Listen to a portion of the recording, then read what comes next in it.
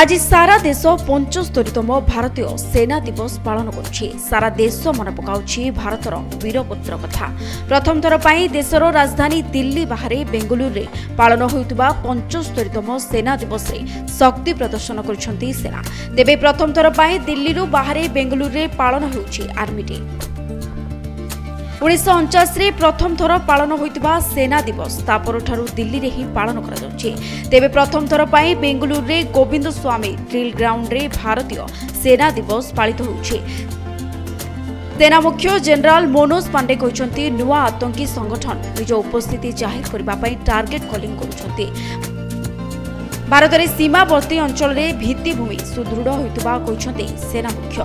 ପ୍ରକୃତ ନିୟନ୍ତ୍ରଣ ରେଖାରେ ଭାରତୀୟ ସେନା ଏକ ଦୃଢ଼ ପ୍ରତିରକ୍ଷା ଆଭିମୁଖ୍ୟ ଜାରି କରିବା ସହ ଯେକୌଣସି ପରିସ୍ଥିତିର ମୁକାବିଲା ପାଇଁ ପ୍ରସ୍ତୁତ ଥିବା କହିଛନ୍ତି ଜେନେରାଲ ମନୋଜ ପାଣ୍ଡେ ପ୍ରଧାନମନ୍ତ୍ରୀ ନରେନ୍ଦ୍ର ମୋଦି ମଧ୍ୟ ସମସ୍ତ ବୀର ଯବାନ ଓ ସେମାନଙ୍କ ପରିବାରକୁ ଏହି ଅବସରରେ ଶୁଭେଚ୍ଛା ଜଣାଇଛନ୍ତି